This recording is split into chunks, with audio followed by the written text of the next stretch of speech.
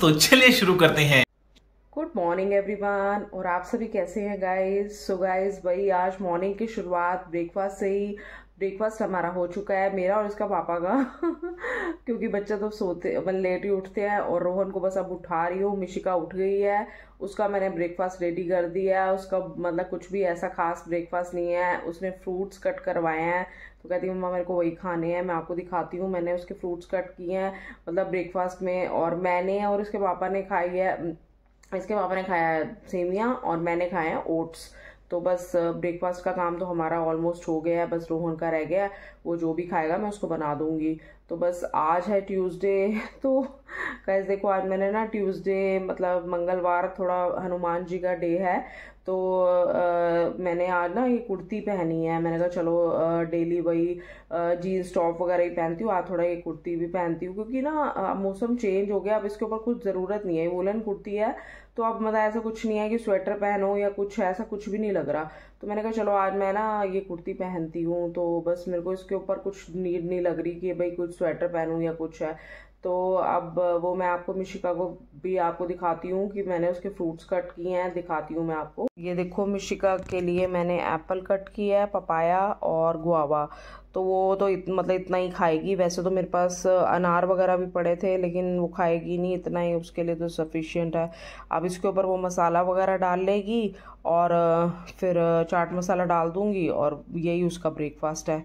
तो कहती मुझे लाइट लाइट ही खाना है। मैंने कहा चलो ठीक है कोई बात नहीं। फ्रूट्स भी इसी बहाने फ्रूट्स भी चले जाते हैं।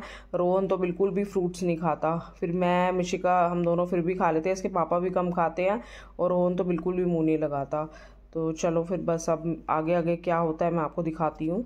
ये बस मंदिर में भी मैंने पाठ पूजा कर ली है और ये हनुमान जी की मूर्ति है जो आज मैं आपको दिखा रही हूँ क्योंकि ट्यूसडे है आज, मंगलवार है, आज हनुमान जी का डे है। तो बस ये देखो मंदिर, साईं बाबा जी और ये सभी मूर्तियाँ जो तो हमारी ठंडी हो गई है। और मैंने कहा, चलो आपको मंदिर के दर्शन करवा दूँ। और ये गुरु जी झाड़ दी है मैंने, मिशिका की बेडशीट और ये मिशिका का डैडी है। ये देखो कितना क्यूट है। ये ऐसा लग रहा है जैसे मतलब क्या कहूँ, बहुत प्यारा है। तो डिफरेंट है बिल्कुल। तो ये मैं इसका ऐसे लेके, देखो गाइस मैं इसको लेके ऐसे मेरी फ़ोटो खींच मिशिका। डैडी के साथ आपको ये दिखा रही हूँ उसका डैडी कितना प्यारा है। तो बस मैं इसका बेडशीट वगैरह क्लीन अपना आउटफिट दिखाओ। तो ये देखो मैंने ये आज ये कुर्ती पहनी है और ये मेरी मतलब बहुत पुरानी है तो मैंने कहा चलो आज मैं ये निकाल लेती हूँ।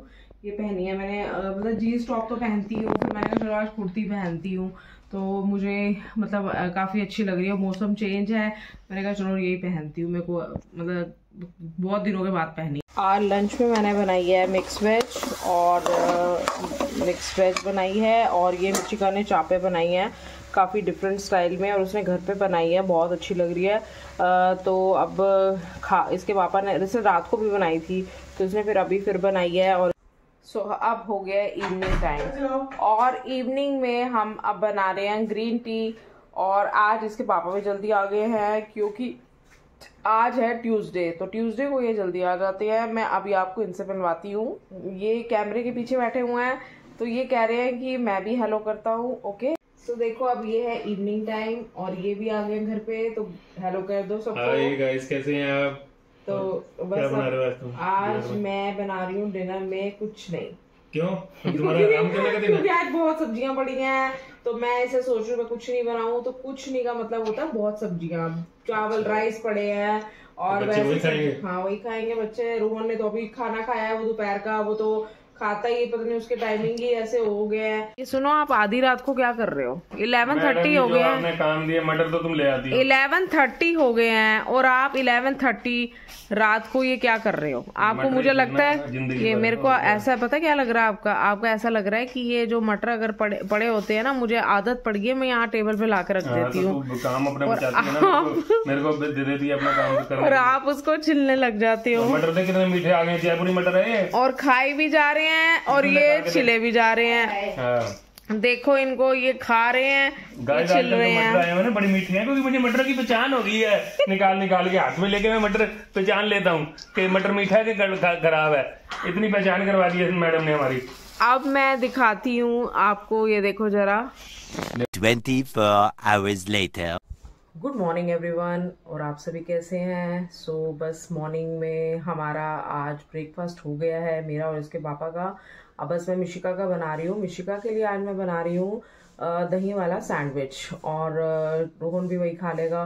तो मैं बस अब किचन में ही आई हूँ तो अब मैंने आपको दिखाती हूँ कि मैं उसका कैसे बना रही हूँ। ये देखो ये इसमें मैंने क्या किया है थोड़ी सी दही थी उसको मैंने अभी 10-15 मिनट पहले ही ना एक मेरा मतलब किचन का ही अ, कपड़ा है तो उसमें मैंने ऊपर नलके पे टांग दिया उसका पानी सारा निचोड़ दिया और इससे हंकट बन गई और इसमें बारीक मतलब गाजर कद्दूकस कर ली खीरा कद्दूकस कर लिया और बारीक प्याज काट कर दिए और चिली फ्लेक्स डाल दिए नमक और काली मिर्च।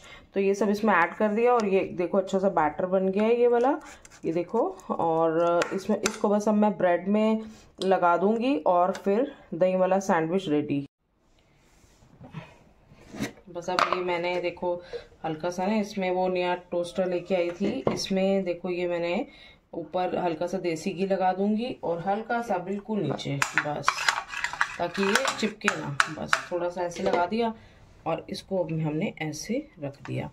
अब देखो, इतना इसको मैं ऐसे देख, ऊपर से ऐसे बंद कर दूँगी और इसके जो ये ये देखो, ये बंद हो गया और अब बिल्कुल एज इट इज़ रख दिया और अब तेज आग में रख दिया। अब इसको पलटती रहूँगी और ये अच्छे से सैंडविच बन के रेडी हो जाएगा और बहुत टेस्टी लगता है। ये अभी बनता है तो मैं आपको दिखाती हूँ।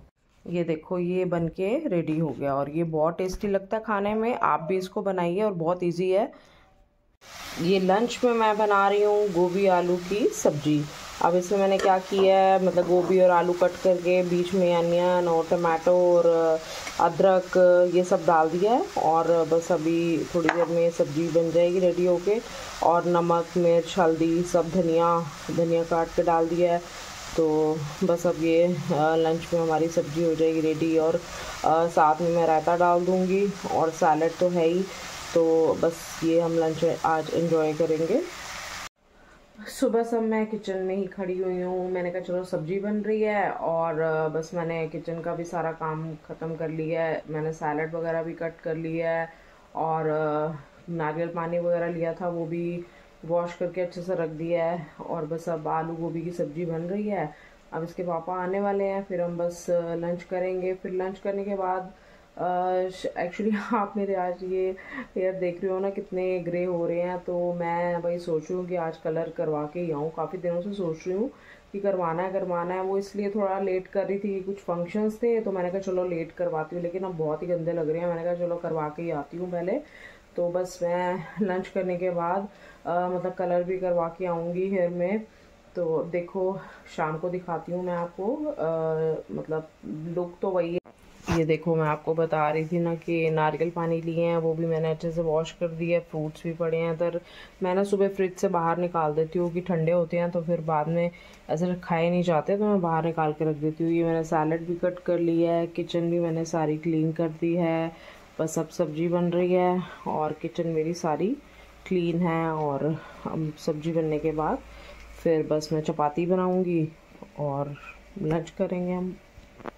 आपको बड़ा बड़ा मुबारक हो वैलेंटाइन डे की। सो मच आपको भी ये देखिए कि मेरे लिए चॉकलेट लेके आए हैं।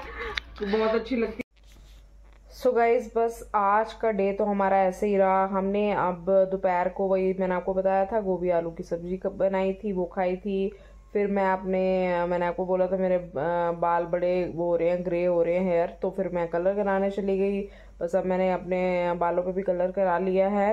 और अब हमारा तो आज का वैलेंटाइंस का डे तो यही ऐसे ही गया हमने आप बनाया दलिया। मुझे तो यही दलिया ही अच्छा लगता है। बाहर का मुझे खाना बिल्कुल भी पसंद नहीं क्योंकि हम बहुत हमारा बाहर का हो जाता है। तो हम अब उस खाने में इंटरेस्टेड नहीं थे आज। तो बस वही इसके पापा कह तो बोल रहे थे कि चल मैंने कहा नहीं मैंने नहीं जाना। तो बस अब यही हम अपना ब्लॉग एंड करते हैं। कल मिलते हैं एक न्यू ब्लॉग के साथ। तब तक आप मेरे ब्लॉग्स को देखिए लाइक करिए शेयर करिए और सब्सक्राइब करिए ओके बाय बाय